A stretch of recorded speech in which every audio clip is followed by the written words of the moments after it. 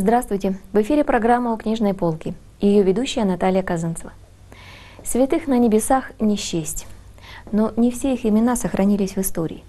Ведь сколько безвестных мучеников пострадало за Христа в первые века христианства, а сколько их, неизвестных для нас, было уничтожено в России в XX веке. Но все имена святых записаны на небесах. Поэтому вслед за праздником Пятидесятницы – когда мы вспоминаем сошествие Святого Духа на апостолов и празднуем образование Святой Церкви, мы прославляем собор всех святых от века Богу угодивших.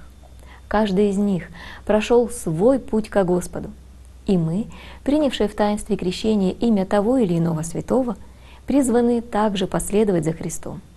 Для этого нам надо научиться жить так, как жили святые, как жил Христос – и потому нужно читать Евангелие и жития святых. Рассказы из жизни святых мы находим на страницах различных патериков, прологов, синоксарий и других агеографических сборников. А для детей издаются специальные книги, в которых жития святых представлены очень кратко, доступно для усвоения. Примером тому послужит книга, выпущенная в свет издательством «Отчий дом» в серии «Православная детская библиотека». Она называется «Драгоценные камни веры.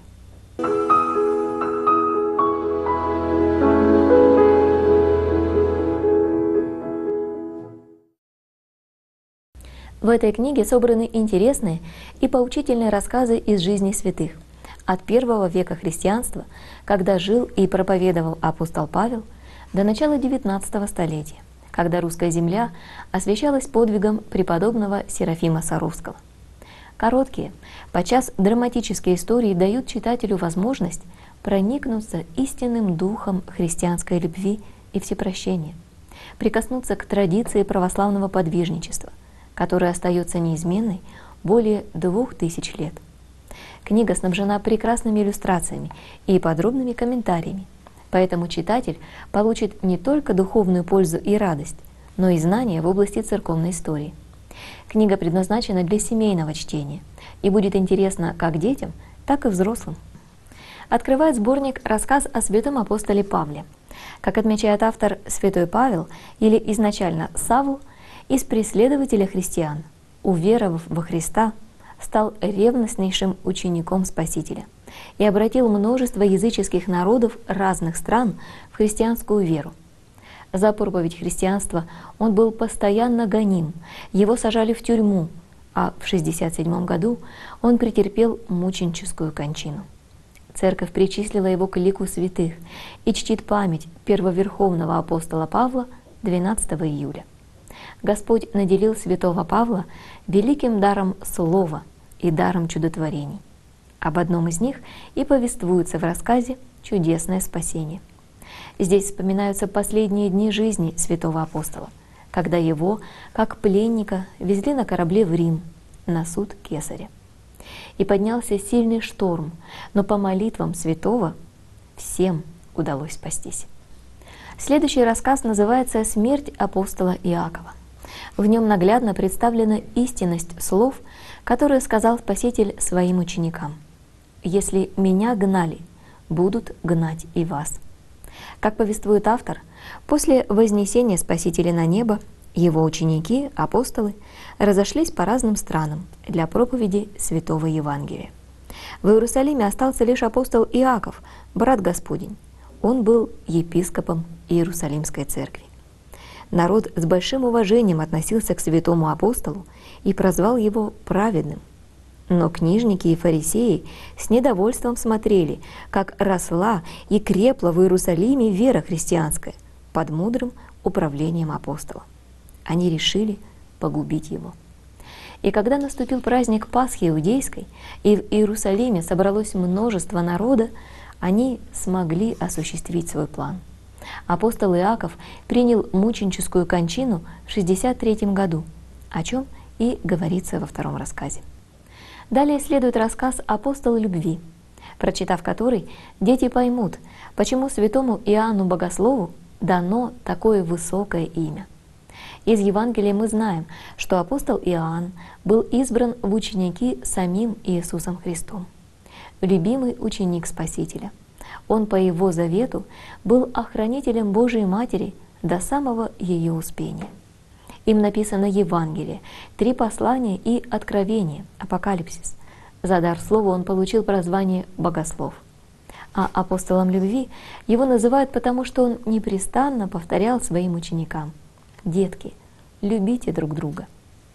По словам автора, много селений и городов исходил апостол Иоанн, проповедуя Слово Божие, обращая ко Христу бродивших во тьме язычества. И когда вернулся в город Ефес, с великой радостью был принят местными христианами. Однако узнав, что один юноша, просвещенный крещением, не утвердившись в жизни христианской, стал атаманом разбойников, апостол Иоанн огорчился.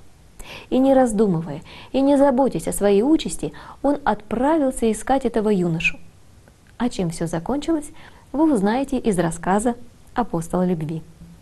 Следующий рассказ, который называется «Как купец сам себя обманул», переносит нас в IV век на остров Кипр, в то время, когда архиепископом города Тримифунта был святитель Спиридон. Как повествует автор, он был бессребренник и вел жизнь угодную Богу. Часто приходили к нему люди за советом и помощью, и для всех Спиридон находил слово ласки и утешения, ко всем приходил на помощь. Жил в Тремифунте и богатый купец, который вел обширную торговлю. Случалось, что ему нужны были деньги для больших торговых оборотов, и он брал в долг у Спиридона. Когда же он приносил деньги обратно, Спиридон никогда не пересчитывал их и просил купца лично положить деньги в ковчег, из которого он брал. Много раз купец занимал таким образом золото у Спиридона и всякий раз добросовестно возвращал ему долг. Дела торговли шли хорошо, и купец сильно разбогател. Но случилось однажды, что, принеся долг Спиридону, купец не удержался от соблазна и не положил золото в ковчег, а утаил его у себя, обманув Спиридона. О том, что случилось далее, дети узнают, прочитав этот рассказ, который для многих сможет стать очень поучительным уроком. В рассказе «Слепой» говорится о двух святых братьях – Косме и Дамиане, которые жили в нескольких верстах от Рима, в лесу, в небольшой лачушке. Автор пишет, «Родом римляне, воспитанные в христианстве, они раздали все имущество свое нищим. Посвятив себя Богу, братья оставили шумный Рим и удалились в уединенное место. Но недолго оставались Косма и Дамиан в уединении. Вскоре разнеслась весть, что они обладают даром молитвы, и что по молитве их Господь исцеляет всякие недуги.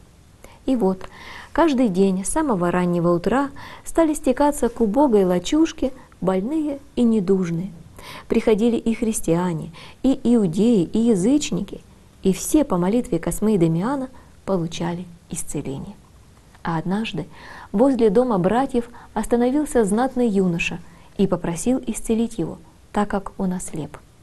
Но святой Дамиан сказал, что он не может помочь, и только от самого юноши зависит, будет ли он снова видеть. О том, что нужно для этого, читатели узнают из этого рассказа. Рассказ по завету Христа поведает детям о любвеобильном старце, святом епископе Павлине, который жил в конце IV – начале V века. За сострадание и помощь людям он получил прозвание «милостивый». Он был настолько милосерд, что не пожалел себя и ценой своей свободы выкупил сына одной вдовы из плена.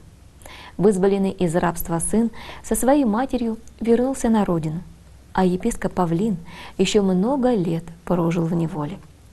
Кроткий, исполнительный, он приобрел всеобщую любовь и уважение. Много насадил он семян христианства в дикой стране. Сам царь узнал о нем, приблизил к себе и полюбил. Желая отблагодарить епископа Павлина за многие услуги, царь даровал ему свободу и отпустил на родину его соотечественников. К такому милосердию стоит поучиться – чтобы однажды не услышать в свой адрес страшные слова. Суд без милости, не оказавшему милости. Еще один рассказ, о котором также хочется сказать несколько слов, называется «Драгоценные камни веры». Что это за камни такие? Почему о них говорится в житии преподобного Макария Великого? Вкратце мы сейчас ответим на эти вопросы. Преподобный Макарий около 60 лет подвязался в суровой египетской пустыне. Этот славный подвижник получил от Бога дар чудотворения, пророчества и власть над нечистыми духами. Однажды он с особенной целью пришел к монахине Манонии, которая в молодых летах жила в монастыре, вела благочестивую жизнь, предавалась духовным подвигам. Но мало-помалу крупный недостаток образовался у нее.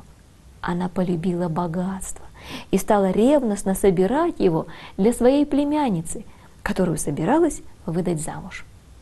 Вот преподобный и хотел уврачевать этот тяжкий душевный недуг монахини.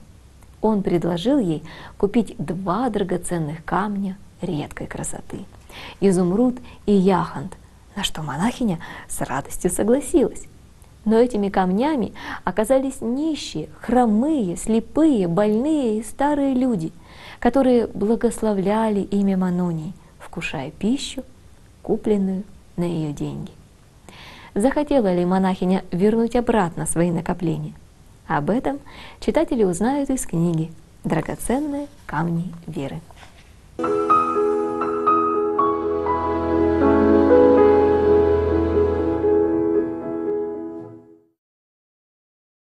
Мы рассказали вам лишь семь историй, которые вошли в эту книгу.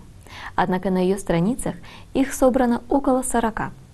Одни святые, о которых повествует автор, хорошо знакомы даже не церковным людям.